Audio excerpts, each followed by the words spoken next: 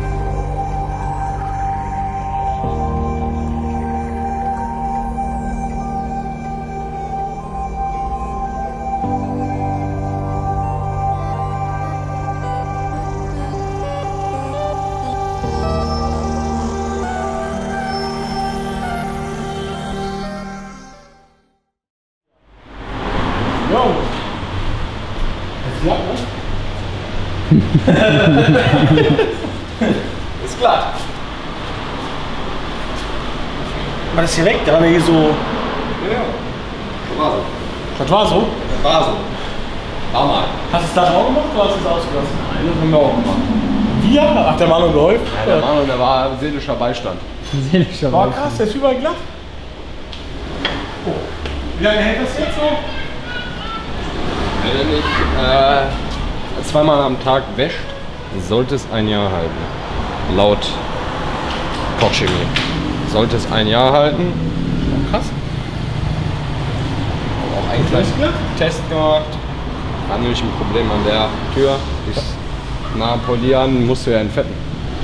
Ja. Und da ist er dann wieder ein bisschen weiß geworden.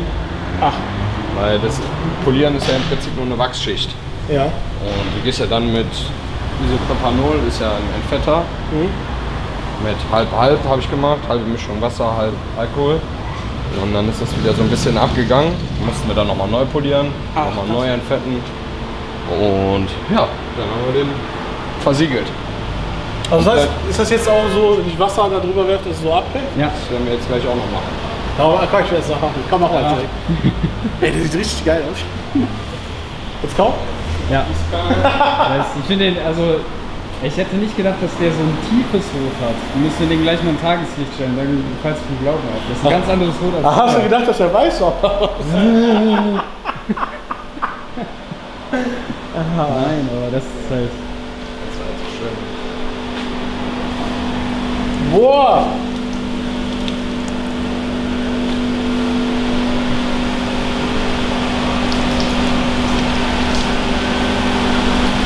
Kriegen wir das jetzt auch wieder sauber? und, und wie, äh, wie gehe ich denn am besten damit vor? Also wie halte ich den, solange es geht, den Glanz? Was soll ich vermeiden? Waschstraßen vermeiden. Waschstraßen jetzt unbedingt, müssen nicht unbedingt sein. Ich würde es persönlich besser mit der Hand machen. Ja. Ist schonender. Durch die Bürsten, durch dieses Au- Aufknallen entsteht viel mehr Reibung. Würde ich persönlich nur noch per Hand waschen. Ja. Und ja den Abperleffekt. Man muss eigentlich nur noch dann mit Schwamm drüber oder mit einem Mikrofasertuch waschen. Geht man drüber, abspritzen, perlt der meiste, ich sag jetzt mal, perlt das meiste Wasser ab. Hat man noch einzelne Tropfen, nimmt ein Tuch, geht vorsichtig drüber, fertig ist das Auto gewaschen. Man muss es eh nicht mehr so oft waschen, Regen, Wassertropfen werden alle jetzt, jetzt durch die Versiegelung abgehalten. Du hast jetzt keine Wassertropfen mehr da drauf. Und dein, ich sag jetzt mal, dein toter Lack, den du am Anfang hattest, wird jetzt erstmal den Glanz behalten. Ja, der war mal, echt- Leben war ja lang, tot, ne? Leben lang kann man jetzt nie versprechen. Kochchemie sagt ein Jahr, wenn der richtig versiegelt ist. Oder wenn du nicht zweimal am Tag jetzt unbedingt wäscht, man sollte ja durch die Versiegelung mussten ja auch erstmal weniger waschen. Und das heißt, nach einem Jahr komme ich wieder und machst die Versicherung nochmal. Dann machen Und wir die Versiegelung nochmal und dann wird er wieder. was ist denn, wenn jetzt einer zu dir kommt? Ne? Weil wir haben ja so ein bisschen einen kleinen Deal, sage ich mal. Ne? Äh, aber was ist, wenn ein Fremder zu dir kommt und sagt, pass mal auf, Chris. Ungefähr das Auto ist jetzt so Mittel, Kleinwagen. Die Arbeitsschritte, was, auf wie viel Euros müsste er sich einstellen? Oder was wäre ungefähr der Betrag? So mal Daumen. Nicht, dass jetzt alle vom Glauben abfallen, aber es ist natürlich auch eine einige Arbeit, die wir da reingesteckt haben. Oder ich. Ähm, ist natürlich eine Stange Geld auch, aber im Endeffekt, so wie man den, äh, am Anfang den Wagen gesehen hat und jetzt, es lohnt sich auf jeden Fall mal da, dann in sein Auto auch mal, ich sage jetzt mal, nur von außen, nur diese Bereiche mal seine 500 Euro zu investieren. Die muss man schon rechnen, weil wie lange war ich jetzt ungefähr dran? Diese Arbeitsschritte sind vier bis fünf Arbeitsschritte, die man machen muss. Man kann nicht auch mal eben einen auslassen und sagen, den brauchen wir nicht. Erklär nochmal, was genau du jetzt alles für Arbeitsschritte Wir gemacht haben am Anfang geschliffen, dann kommt der Cut und dann kommt nochmal die Hochglanzpolitur, damit der dann auch mal richtig schön noch das Glänzen kriegt. Und Kneten. Ach ja, Kneten zum, ganz zum Anfang, stimmt. Das habe ich äh, jetzt gerade ausgelassen. ähm, kneten am Anfang, dann schleifen, Cut und dann ähm, ja, Hochglanz für den Glanz. Dann muss das Ganze, bevor versiegelt wird, unvermeidbar, muss mit äh, Entfetter das Auto entfettet werden. Durch die ganzen Wachsschichten, die da drauf sind, muss das Auto entfettet werden, weil sonst hält die Versiegelung nicht. Sonst würde der Effekt, den wir gerade gesehen haben, nicht passen. Und ähm, Macht den, Spaß, dir zu streichen. den Schritt kann man auf gar keinen Fall auslassen. Ich nehme Isoprepanol, ist nichts Wildes, kann man auch bei Amazon bestellen. Ganz einfach. 50-50 Mischung heißt 50% Wasser, 50% ist 99,9% Alkohol. Mit einer ganz normalen Sprühflasche, wo man sie auch überall herkriegt, ähm, nehmen. Draufsprühen mit einem Mikrofasertuch abwischen. Am besten kein raus Mikrofasertuch, sondern ein schön weiches, was noch relativ neu ist oder ein Poliertuch nehmen, das schön abwischen und danach kann die Versiegelung beginnen. Man kann es, ich mache es persönlich mit der Hand, weil es meiner Meinung nach besser ist, mit so einem schönen weichen Schwamm. Man kann es aber auch mit einer Poliermaschine machen. Muss man natürlich immer genau auf die Drehzahl und Geschwindigkeit achten, die man da einstellt, genau das richtige Polierpad nehmen. Also da sind schon einige Komponenten, die auf einen zukommen, wo man dann drauf achten muss. Deswegen würde ich persönlich mit dem Schwamm das lieber machen. Gut. Ja, also ich würde sagen, ich bin sehr zufrieden. Äh, hier die Leute rund um Wermelskirchen. Würde mich freuen, wenn das Video irgendwie angekommen ist, ihr den Chris helft bei seiner Selbstständigkeit. Wie gesagt, er ist ziemlich frisch, sage ich mal drin, so wie ich. Und ich würde mich freuen, wenn er dadurch halt Aufträge auch bekommt. Ne? Er macht ja auch jetzt nicht nur so hochwertige Sachen, sondern so schnell mal Aufbereitungen, ne? falls mal einer was verkaufen möchte. So. Kann ich euch nur empfehlen, ich bin wirklich zufrieden. Ähm, ich soll, also ich gucke mir den gleich in meinem Hellen auch nochmal an, aber schon hier drin sieht das schon top aus. Und ich würde sagen, Chris, Dankeschön. Und das war nicht das letzte Mal. Ja, auf jeden Fall. Ich danke mich Und auch. wir verabschieden uns, oder? ja, richtig. Ich bedanke mich auch für die Zusammenarbeit mit dem Giuliano und lasst immer einen Daumen hoch. Dankeschön. Schöne Restwoche noch und wir sehen uns Sonntag. Ja, oder? Ciao.